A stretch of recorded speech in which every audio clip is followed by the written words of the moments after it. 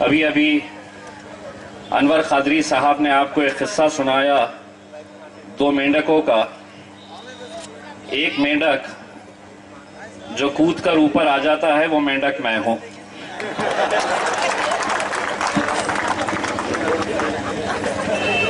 اس لیے میں ہوں کہ منزل انہی کو ملتی ہے جن کے سپنوں میں جان ہوتی ہے۔ پنکھوں سے کچھ نہیں ہوتا، حوصلوں سے اڑان ہوتی ہے۔ میرے بھائیوں، آج سے قریب ایک مہینہ بھر پہلے جب ہم اس کشمکش میں تھے کہ الیکشن لڑے، نہ لڑے اورنگ آباد شہر کے ایسے بہت سارے مینڈک تھے جو کہتے تھے، تم وہیں رہو، نہیں آ سکتے۔ لیکن انہیں نہیں پتا تھا کہ جو مینڈک پانی میں گرا ہے اس مینڈک کا نام امتیاز جلیل ہے۔ بہت باتیں کی گئی۔ ہمیں بھی ایسا لگا کہ کیا یہ ممکن ہوگا۔ کہیں نہ کہیں ہم بھی اس کشمکش میں تھے۔ لیکن ایک بات میں پورے یقین اور پورے دعوے کے ساتھ کہہ سکتا ہوں۔ کہ جو منظر میں نے دو ہزار چودہ کے اندر اس شہر کے اندر دیکھا تھا، جو منظر میں نے یہاں کی نوجوانوں کے بیچ میں دیکھا تھا، جو جذبہ اور جو جوش دیکھا تھا، جو بزرگوں کی دعائیں دیکھی تھی، میں نے کہا کہ دو ہزار چودہ کے اندر لوگ مجھے جانتے نہیں تھے۔ اس کے باوجود بھی جس شدت سے ان لوگوں نے میرے لیے عبادت کی تھی، دعائیں مانگی تھی جو نوجوان مجھے پہچانتے تھے نہیں، وہ لوگوں کا جوش دیکھتے ہی بنتا تھا۔ میں نے کہا کہ اگر یہ دو ہزار چودہ کے اندر ممکن تھا، تو انشاءاللہ دو ہزار انیس کے اندر بھی یقیناً یہ ممکن ہوگا۔ اور یہ اس لیے ممکن ہوگا میرے بھائیوں، جب لوگ یہ کہتے تھے کہ ہم نے کرنا چاہیے یا نہیں کرنا چاہیے۔ تو میری سوچ یہ تھی کہ منزل ملے نہ ملے، یہ تو مقدر کی بات ہے۔ منزل ملے نہ ملے، یہ تو مقدر کی بات ہے۔ پر تم کوشش بھی نہ کرو، یہ غلط بات ہے۔ ہم کوشش کرنے کے لیے اترے تھے میدان میں۔ ہم سوچتے تھے کہ ہماری کوشش کامیاب ہوگی یا نہیں ہوگی، لیکن محض ایک آٹھ دس دن گزرے ہیں، اب وہ کوشش نہیں ہے ہمارا، اس کوشش اب ایک یقین میں بدل گیا ہے کہ تیئیس مئی کو دوبارہ اس زمین کے اوپر ہرا رنگ سے ہم لوگ ہولی کھیلیں گے۔ ہرے رنگ میں ڈوبیں گے، نیلے رنگ میں ہم ڈوبیں گے۔ کیونکہ آج ہم الگ الگ چھوٹے چھوٹے گاؤں میں جب جاتے ہیں، میں پچھلے کچھ دنوں سے کنڑ گنگا پور ویجا پور چھوٹے چھوٹے ایسے گاؤں میں ہم جا رہے ہیں۔ ایسے قصبوں میں ہم جا رہے ہیں، ایسے علاقوں کے اندر جا رہے ہیں۔ کچھ دن پہلے گنگا پور کے ایک چھوٹے سے قصبے میں میں گیا۔ ڈگے صاحب، محض پچیس گھروں کی ایک بستی تھی اور پورے کے پورے پردے صاحب دلتوں کی بستی تھی۔ صبح آٹھ، ساڑھے آٹھ کا وقت تھا۔ ایک بزرگ مہیلا سامنے سے آ رہی تھی، دلت سماج کی تھی۔ میں نے اس سے پوچھا کہ تائی، یا ویری مت کنالا دینار؟ وہ میری طرف دیکھی اور اس نے کہا کہ یا ویری می مت ونچت بہجن آگاڑی سے جلدی بھائی ہے نا دھیان نہ دین آرمی جس مہیلا کو میرا نام نہیں پتا جس مہیلا کو میرا چہرہ نہیں پتا لیکن بالا صاحب امبیڈکر جی نے ان کے سماج کو آدیش دیا ہے کہ اس بار کچھ نہیں دیکھنا تمہارا ووٹ صرف پتنگ کے اوپر پڑنا تو ان کے لیے ایک آدیش ہو گیا اور وہ آگ بند کر کے پتنگ کے لیے آج پوری جدوجہد کر رہے ہیں۔ آج پورا دلت سماج، پورا بہوجن سماج ایک طاقت کے ساتھ کھڑا ہے۔ تو وہیں میرے قوم کے ایک آٹھ دس مینڈا کا شہر بھر میں گھوم رہے ہیں اور گنت سمجھا رہے ہیں۔ گنت سمجھا رہے ہیں۔ اتنے ووٹ اس کے، اتنے ووٹ اس کے۔ آئے گا کیا؟ یہ وہ لوگ ہیں جو دو ہزار چودہ میں جب میں کھڑا ہوا تھا الیکشن میں، تو مجھے بلاتے تھے اور کہتے تھے کہ امتیاز بھائی، اتنا اچھا کریئر ہے، پترکار ہے، جرنلسٹ ہے، کیوں چھوڑ کر آ رہے ہیں؟ مجھے مایوس کرتے تھے اور یہ کہتے تھے کہ یہ قوم پہ بھروسہ نہیں کرنا۔ یہ قوم کبھی ایک پلیٹ فارم پہ آ ہی نہیں سکتی ہے۔ یہی مینڈکوں میں سے کچھ مینڈک تھے جو کہتے تھے کہ صاحب، اس قوم کو ہم بریانی کے اندر خریدتے ہیں۔ لیکن سوچئے لیکن سوچئے، اس امتیاز جلیل کا اپنے رب کے اوپر کتنا یقین تھا۔ ہم لوگوں سے یہ کہتے تھے کہ جیت اور ہار کا جو بھی فیصلہ ہوگا، ہم اپنے رب پر چھوڑیں گے، ہم محنت کریں گے، شدت کے ساتھ ہم محنت کریں گے۔ مجھ سے کہتے تھے کہ اگر اسد اویسی صاحب بھی آ جائے اورنگ آباد کو، اور اگر ڈور ٹو ڈور کیمپین بھی کر لے، گھر گھر جائے اور ووٹ مانگے آپ کے لیے، تو امتیاز بھائی آٹھ دس ہزار سے زیادہ ووٹ آپ لے نہیں پائیں گے۔ ایک صاحب نے تو کہا، بھائی، ٹکٹ فارم بھرنے سے پہلے ہم کو پوچھ لینا تھا۔ ہم پچھلے پینتیس، چالیس سالوں سے اورنگ آباد کی سیاست ہم کرواتے ہیں۔ کون آمدار بنے گا؟ کون خاصدار بنے گا؟ یہ ہم طے کرتے ہیں۔ آپ اچانک پونا سے آتے ہیں اور کہتے ہیں کہ میں آمدار بنوں گا۔ آپ کو معلوم ہے، یہ وہ لوگ تھے جو مجھ سے کہتے تھے کہ آٹھ دس ہزار ووٹ ملیں گے۔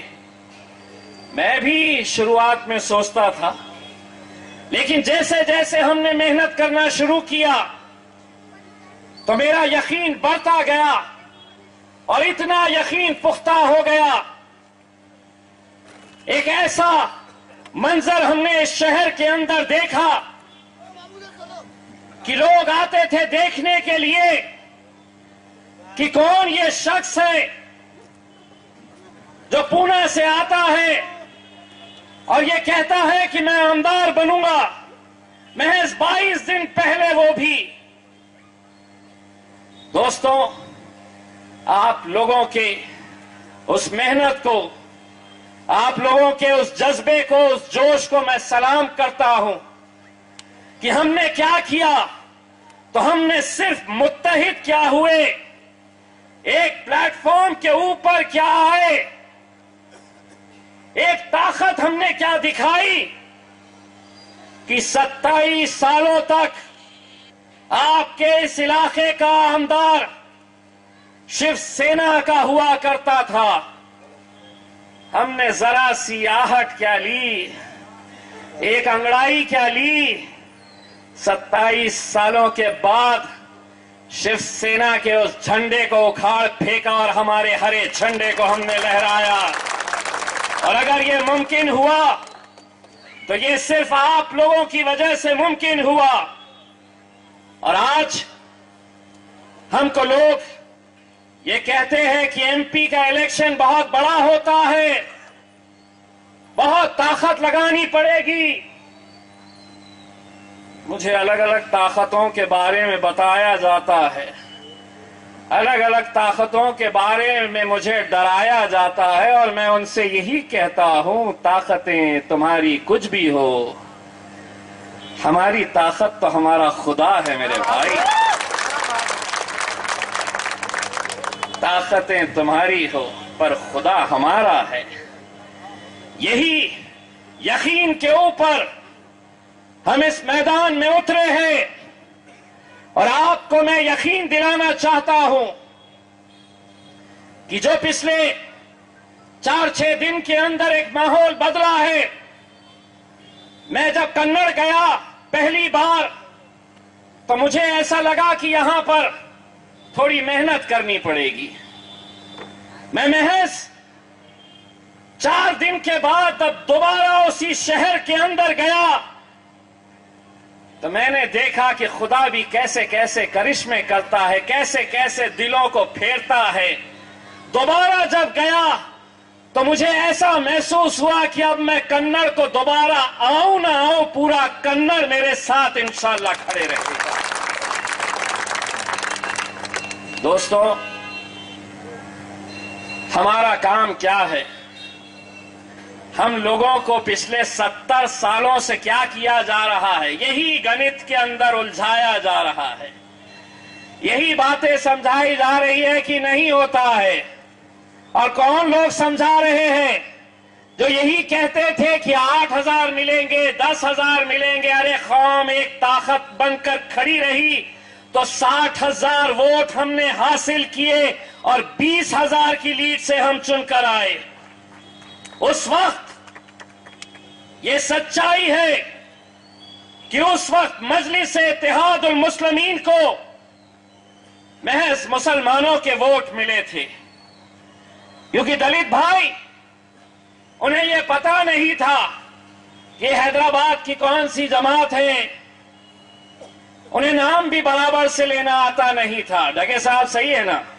مجلس اتحاد المسلمین دھگے صاحب سٹیج پر چڑھنے سے پہلے یاد کرتے تھے، مجلس اتحاد المسلمین۔ لیکن جب کارپوریشن کا الیکشن آیا، تو ہم نے ہمارے دلت بھائیوں کے اندر ایک وشواس جتایا، ایک ایسا یقین پیدا کیا کہ ہم کوئی دوسری راجنیتک پارٹیوں کی طرح نہیں ہیں۔ اگر ہم تمہیں ٹکٹ دیتے ہیں، تو جتا کر لانے کی ذمہ داری بھی ہم اٹھاتے ہیں۔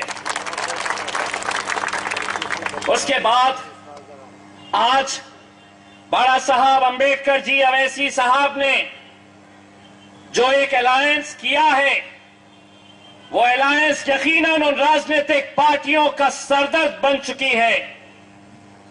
وہ گٹھ بندھن ان راجنیتک پارٹیوں کے لیے ایک ایسا سردر بن چکا ہے جو یہ سمجھتے تھے کہ مسلمانوں کے ووٹ تو ہماری جاگیر ہے جو یہ سمجھتے تھے کہ دلتوں کا ووٹ خریدنا کوئی مشکل بات نہیں ہے۔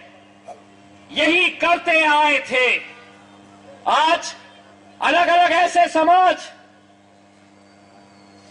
الگ الگ ایسے سماج جنہیں ونچت بہوجن آگاڑی کے نام کے اوپر ہم نے ٹکٹ دیا ہے بارہ صاحب نے ٹکٹ دیا ہے آج اگر آپ یہ سمجھ رہے ہیں کہ ہم صرف مسلمان ووٹوں کی بات کر رہے تو ہمیں فخر ہوتا ہے جب اس شہر کا مراٹھا سماج کا ایک سنگٹن ہمارے پاس آتا ہے اور یہ کہتا ہے کہ امتیاز بھائی ہمیں نہ کانگریس کے ساتھ جانا ہے، نہ بھاجپ، نہ سینا کے ساتھ جانا ہے۔ اس بار ہم طے کرے ہیں کہ ہم امتیاز جلیل آپ کے ساتھ جانا چاہتے ہیں۔ آج دھنگر سماج کے قریب ایک لاکھ ساٹھ ہزار ووٹ اس شہر کے اندر ہیں۔ دھنگر سماج کے لوگ پورے ہمارے ساتھ آئے۔ کل ہی ان کا ایک بڑا ڈیلیگیشن میرے گھر پر آیا اور انہوں نے کہا کہ ہم الگ الگ پارٹیوں سے جڑے تھے۔ کوئی بھاجپ میں تھا، کوئی سینا میں تھا، کوئی راشٹروادی میں تھا، کوئی کانگریس میں تھا۔ لیکن ہمیں اس بات کا احساس ہوا کہ جو مسلمانوں اور دلتوں کے ساتھ ہوتا آ رہا ہے ستر سالوں سے کہ بس تمہارا کام ووٹ دو ووٹ دو ووٹ دو۔ ستہ میں جا کر وہ بیٹھیں گے۔ اسی لیے دھنگر سماج کے لوگوں نے بھی ہمارے پاس آئے اور لکھت کے اندر یہ دیا اور انہوں نے کہا کہ امتیاز بھائی، ایک روپیہ بھی ہم آپ سے نہیں لیں گے، ہماری گاڑی لگائیں گے، ہمارا اسٹیج لگائیں گے، آپ کے لیے ہم صرف پرچار کرنے کا کام کریں گے کیونکہ ہم چاہتے ہیں کہ اس شہر کے اندر پریورتن ہو اور آپ ہمارے خاصدار بنے میرے بھائیوں، یہ ہم کو سوچنا چاہیے۔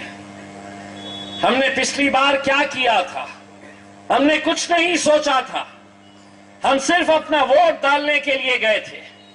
ہم نے لوگوں سے یہ کہا تھا کہ صرف اپنا ووٹ ڈالو۔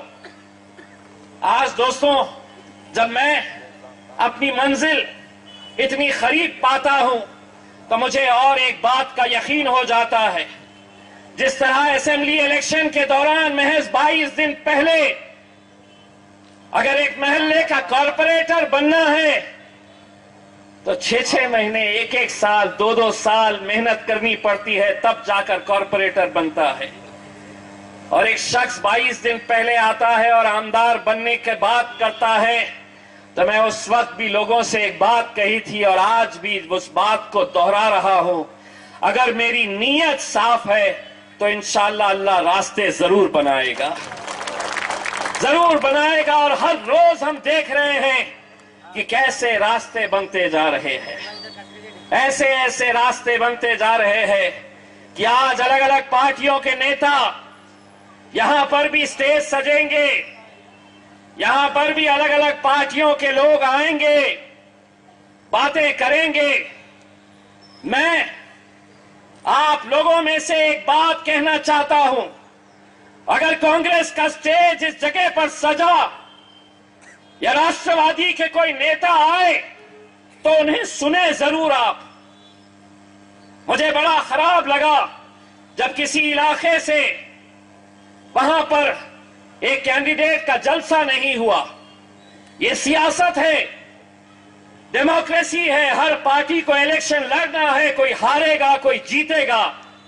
لیکن آپ کو انہیں سننا ہے، اسی لیے میں آپ سے کہتا ہوں کہ جتنی لوگ، جتنے لوگ آج مجھے سننے کے لیے آئے ہیں، کل کانگریس کا بھی سٹیج یہاں پر سجے گا۔ اس سے زیادہ لوگ آئیے سننے کے لیے۔ ان کا بھاشن سنیے۔ لیکن ان کے سننے کے بعد ان سے ایک سوال ضرور کریے گا۔ اٹھ کھڑے رہیے اور ان سے یہ سوال کریے کہ کیا مسلمانوں کا کام صرف ووٹ دینا ہے۔ کیا اشوک چوہان کو کبھی یہ لگا نہیں کہ جس قوم کا میں ووٹ پچھلے ستر سالوں سے لیتا آیا ہوں، کیا شرد پوار کو یہ کبھی لگا نہیں کہ جس قوم کے بل بوتے کے اوپر میں اپنے آمدار اور اپنے خاصدار چنتا ہوں؟ ان سے یہ بات پوچھنا ضرور میرے بھائیوں کہ کیا وجہ ہے کہ اورنگ آباد یا ایسے علاقے مہاراشٹرا کے اندر اڑتالیس لوک سبھا کی سیٹیں ہیں، کیا راشٹروادی کو ایک بھی سیٹ مسلمانوں کے لیے نظر نہیں آئی؟ کیا کانگریس کو یہ لگا نہیں کہ ہم ایک ایسی سیٹ دیں کہ جہاں سے ہم مسلمان کو چن کر لا سکتے ہیں؟ ہم آپ مل کر یہ سوال کرنا چاہیے اور اگر آپ یہ سوال نہیں کریں گے تو آپ اپنی قوم کے ساتھ دھوکہ کریں گے اور یہ نیتا، یہ کانگریسی نیتا یہ سمجھیں گے کہ ہم سے تو کوئی سوال کرنے والا ہے ہی نہیں۔ جو ستانک نیتا ہے اس علاقے کے جو اپنے گلے کے اندر پنجے کا اور گھڑی کا مفلر لے کر دوڑیں گے۔ ان سے ایک بات ضرور پوچھنا کہ کیا وجہ ہے کہ لوک سبھا کے اندر پورے مہاراشٹرا سے پچھلے کئی سالوں سے ایک بھی، ایک اڑتالیس میں سے ایک بھی مسلم ایم پی، نہ تو کانگریس، نہ تو راشٹروادی کانگریس جتا پائی ہے، جتائے گی کیسا؟ اگر وہ ٹکٹ ہی نہیں دیتی ہے۔ ان کے نیتا نے ایک بار کہا تھا کہ اگر ہم مسلمانوں کو ٹکٹ دیتے ہیں، تو مسلمان تو انہیں ووٹ دے دیتا ہے۔ لیکن دوسرے جات کے، دوسرے دھرم کے لوگ کوئی مسلمان کو ووٹ دینا نہیں چاہتا۔ اگر یہی بات ہے، تو ہم کس بنیاد کے اوپر اس سیکولرزم کی ڈھونگ، اس سیکولرزم کے نام کے اوپر ہم اپنی قوم کا سودا کرتے رہے۔ اور آپ کو تمام یہاں پر موجود لوگوں کو شرم آنی چاہیے۔ مجھے شرم آتی ہے کہ آج لوک سبھا کے اندر جہاں ہمارے مذہب کے تعلق سے اب فیصلے لیے جا رہے ہیں، ہمارے شریعت کے قانون کو بدلنے کے فیصلے کوئی مہانگر پالکا یا کٹ کٹ گیٹ کے چوراہے پر نہیں لیے جا رہے۔ لوک سبھا کے اندر لیے جا رہے ہیں۔ اور لوک سبھا کے اندر اگر ہماری آواز ہی نہیں ہے، کوئی ہمیں ویروت کرنے والا ہی نہیں ہے۔ اور صرف مہاراشٹرا کی بات نہیں کر رہا ہوں، شرم مجھے اس لیے آتی ہے کہ ایک بھی مسلم ایم پی مہاراشٹرا سے نہیں ایک بھی مسلم ایم پی گجرات سے نہیں، ایک بھی مسلم ایم پی راجستھان سے نہیں، ایک بھی مسلم ایم پی مدھیہ پردیش سے نہیں، ایک بھی مسلم ایم پی کرناٹک سے نہیں، ایک بھی مسلم ایم پی گوا سے نہیں۔ آج یہ آپ کو مجھے شرم آنی چاہیے۔ اگر ہم یہی سوچتے رہے کہ نہیں یہ سیکولر جماعتیں ہیں۔ اگر امتیاز جلیل کھڑے رہا الیکشن میں، مجلس اگر کھڑے رہی، تو شیو سینا جیت کر آ جائے گی۔ یہی گیان بڑا پڑھایا جا رہا نا آپ کو۔ یہی بتایا جا رہا نا کہ امتیاز جلیل کھڑے رہے، تو سینا جیت جائے گی۔ یہی بتایا جا رہا ہے۔ پچھلے بیس سالوں میں، پچھلے بیس سالوں میں جب چندرکانت کھیرے شیو سینا کا اس شہر کا خاصدار بنتے آ رہا ہے چار ٹون سے۔ مجلس نے تو ایک بار بھی الیکشن نہیں لڑی ان بیس سالوں کے اندر۔ ونچت بہوجن آگاڑی تو ان بیس سالوں کے اندر وجود میں ہی نہیں تھی، ہم الیکشن ہی نہیں لڑے۔ اگر ہم نے الیکشن نہیں لڑے، تو کس نے مقابلہ کیا شیو سینا بھاجپ کا؟ تو وہی کانگریس نے لڑی۔ وہی راشٹروادی نے لڑی۔ یہ دونوں پارٹیاں مل کر لڑتے رہے پچھلے بیس سالوں سے۔ لڑتے رہے۔ ہم نے بھی اپنا ووٹ کس کو دیا؟ آپ خود یہ مانیں گے؟ میں خود اپنا ووٹ کانگریس کو دیتا آیا تاکہ وہ لوگ سینہ کو ہرا سکے بھاجپ کو ہرا سکے۔ بیس سال دیے ہم نے، بیس سال۔ بیس سال تم نے پوری طاقت لگائے۔ لیکن نتیجہ کیا ہوا؟ پوری طاقت لگانے کے باوجود بھی تم سینا کو اورنگ آباد میں پچھاڑ نہیں سکے۔ ہم نے بیس سال تم کو دیے۔ تم نے اپنی طاقت دکھا دیے کہ تمہاری طاقت اس شہر کے اندر ہے نہیں۔ کہ تم ان فرقہ پرست طاقتوں کو ہرا سکے۔ بیس سال کے بعد اب ایک موقع ہم کو دو، ہم دکھائیں گے سینا کو کیسا پچھاڑا جاتا ہے اس شہر کے اندر۔ ایک بار ہم نے پچھاڑے ہیں۔ انشاءاللہ انشاءاللہ انشاءاللہ دوسری بار بھی پچھاڑیں گے ہم انہیں۔ دوستوں، یہ سیٹ محض ایک اورنگ آباد کی لوک سبھا کی سیٹ ہے، ایسا نہیں ہے۔ یہ سیٹ محض یہاں کے مسلمانوں کے لیے ایک ناک کی بات ہو گئی ہے، ایک عزت کی بات ہو گئی ہے۔ آج اس سیٹ کے اوپر نہ جانے دنیا کے ایسے کتنے مسلمان نظر لگائے ہوئے ہیں۔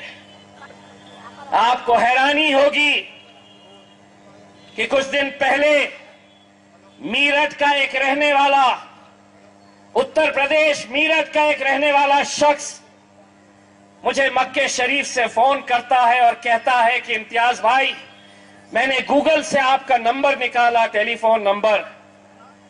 جب آپ کا ٹکٹ کا چل رہا تھا تو میں نے شدت سے عبادت کی تھی۔ آج میں عمرہ کرنے کے لیے آیا ہوں۔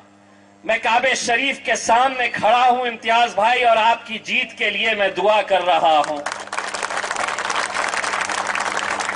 دوستوں، اس جذبے کو دیکھیے کہ کیسا ایک انجان آدمی جس کا کوئی لینا دینا نہیں، جو مجھے جانتا نہیں، جو مجھے پہچانتا نہیں، وہ صرف اس لیے دعا کر رہا ہے کہ ہماری اپنی بھی قیادت زندہ ہو، ہماری اپنی بھی قیادت پارلیمنٹ کے اندر پہنچے۔ میں نے باڑا صاحب امبیڈکر جی سے دو دن پہلے کہا کہ باڑا صاحب جب فارم بھرنے گئے تو آپ اتنا بڑا جلوس لے کر گئے۔ یہ تو طے ہو گیا ہے کہ اسد اویسی صاحب کے ساتھ باڑا صاحب آپ بھی لوک سبھا میں جانے والے ہیں، یہ تو طے ہو گیا ہے۔ لیکن میں نے باڑا صاحب سے کہا کہ نہ باڑا صاحب آپ اکیلے نہیں جا رہے، آپ کے پیچھے پیچھے میں بھی آ رہا ہوں، انشاءاللہ۔ اور ہم جائیں گے میرے بھائیوں۔ میں صرف آپ لوگوں سے اتنی التجا کرنے کے لیے آیا ہوں۔ تمام نوجوانوں سے، تمام بزرگوں سے۔ دیکھیے محض اٹھائیس دن کا وقت ہمیں ملا ہے۔ انیس سو پولنگ بوتھ ہے۔ سووں سے ایسے گاؤں ہے، قصبے ہے علاقے ہے ہم اگر دن اور رات بھی اگر پوری کوشش کر لے کہ ان گاؤں میں جائیں، ان قصبوں میں جائے ان بستیوں میں جائے دن اور رات کرنے کے باوجود بھی یہ ممکن نہیں ہوگا۔ اسی لیے میں یہاں پر موجود کٹ کٹ گیٹ کے تمام وہ غریب غیور مسلمانوں سے، تمام نوجوانوں سے یہ اپیل کرنا چاہوں گا، کسی کا نام رفیق ہے، کسی کا خیل ہے، کسی کا شکیل ہے کوئی چاؤش ہے، کوئی پٹھان ہے، کوئی سید ہے، کوئی شیخ ہے تیویس تاریخ تک اپنا نام بدل لو میرے بھائی۔ ہر ایک نے اپنا نام تیویس تاریخ تک امتیاز جلیل رکھ لو، تب ہم جا کر اپنی منزل حاصل کر سکیں گے۔ لوگوں سے یہ کہو، اگر کوئی کہا، الیکشن کے وقت میں لوگ بڑے اکڑتے رہتے ہیں۔ یار، الیکشن میں کھڑا رہا اپنے پاس تو آیا بھی نہیں۔ ایک صاحب نے کہا، کیا باس ابھی ایم پی بنے نہیں، سلام کرے، ہم نے جواب بھی نہیں دیے باس میں بولا، دیکھا نہیں نا باس میں نے دیکھا تو برابر کروں گا نا، کیونکہ سلام تو خدا کو پہنچتا نا بھائی۔ لیکن معاملہ بڑا پیچیدہ ہوتا ہے۔ ایک صاحب نے تو بول دیے، بھائی اپنے گھر میں ایک پارٹی ہے، وہ پارٹی میں آنا پڑے گا، نہیں تو اپن ووٹ نہیں دینے والے۔ اب میں ان کو سمجھا رہا میرے بھائی، میں گنگا پور میں ہوں۔ اپنے کو نہیں معلوم، اپنے گھر میں چودہ ووٹ ہے، آنا پڑے گا بھائی۔ اب میں یہ دویدھا میں کہ گنگا پور جاؤں یا چودہ حساب لگا لے رہا میں چودہ۔ خیر۔ اللہ اس بندے کو توفیق دے، اس کو منا لیا اور وہ مان لیا، میں بلا جیت کے آؤں گا، انشاءاللہ تیرے گھر پہ ضرور آؤں گا اور پارٹی کھاؤں گا اور ایم پی بن کے آؤں گا، تو پارٹی کھانے کا الگ مزہ رہے گا انشاءاللہ۔ بس میرے بھائیوں، آپ لوگوں سے میں صرف اتنی التجا کرنے کے لیے آیا ہوں کہ ہمارے جتنے بھی بزرگ لوگ ہیں، نوجوان لوگ ہیں، آپ لوگوں کو یہ الیکشن، اگر آپ یہ سمجھ رہے ہیں کہ یہ امتیاز جلیل کا الیکشن ہے اور امتیاز جلیل اسے لڑے گا اور امتیاز جلیل اسے جیتے گا، تو یہ غلط ہے۔ یہ الیکشن آپ لوگوں کا بھی ہے میرے بھائیوں۔ اگلے کچھ دنوں تک ہمیں محنت کرنے کا ہے۔ اور ان لوگوں کی فکر نہیں کرنے کا ہے جو چائے کے اوپر چرچا کرتے ہوئے سارا گیان بانٹتے ہیں کہ یار یہ کیسا ہوگا۔ ہوگا بولنا، تو فکر مت کر، انشاءاللہ ہوگا تو تیرا ووٹ دال اور پتنگ کے اوپر دال سب ہونے والا ہے، برابر ہونے والا ہے۔ ایسے لوگوں سے زیادہ گیان مت کریے گا۔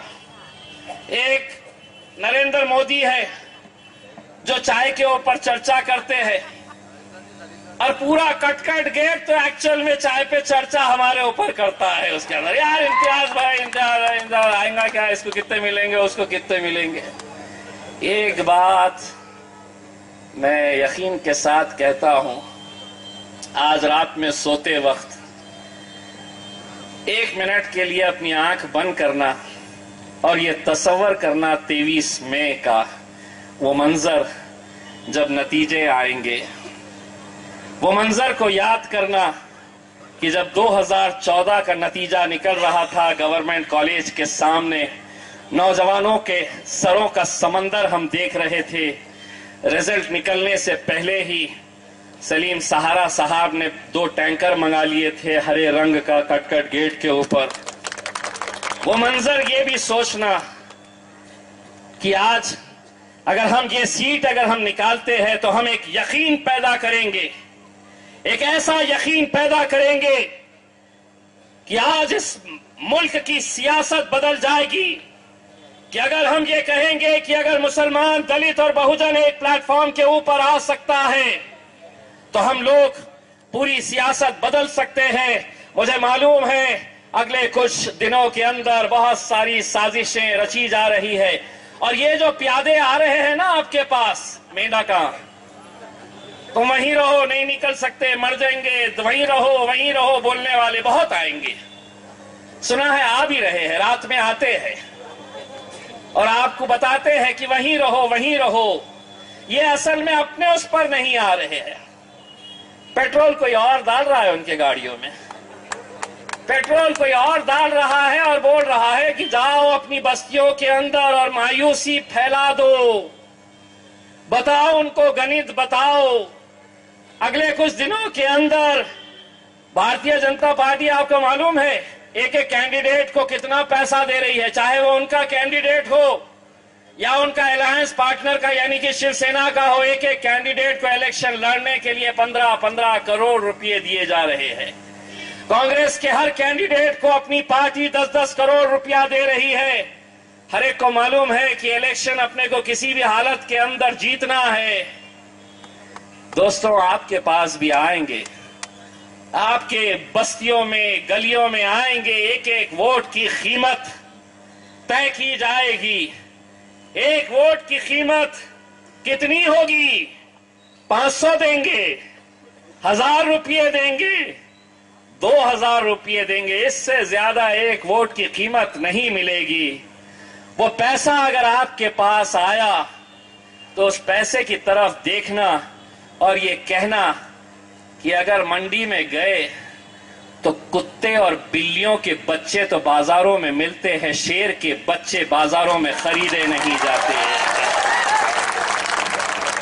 اور میرے یہ نوجوان یہ وہ شیر ہے جو انشاءاللہ تیویس اپریل کو ایک ایسا نمونہ پیش کریں گے کہ پورا ہندوستان دیکھے گا اور تیویس مئی کو جب نتیجے آئیں گے تب وہ منظر ہم یاد کریں گے اور ایک تاریخ درج کرائیں گے کہ چالیس سال کے بعد انیس سو اسی میں انیس سو اسی میں اس شہر سے آخری مسلم ایم پی الیکٹ ہوا تھا۔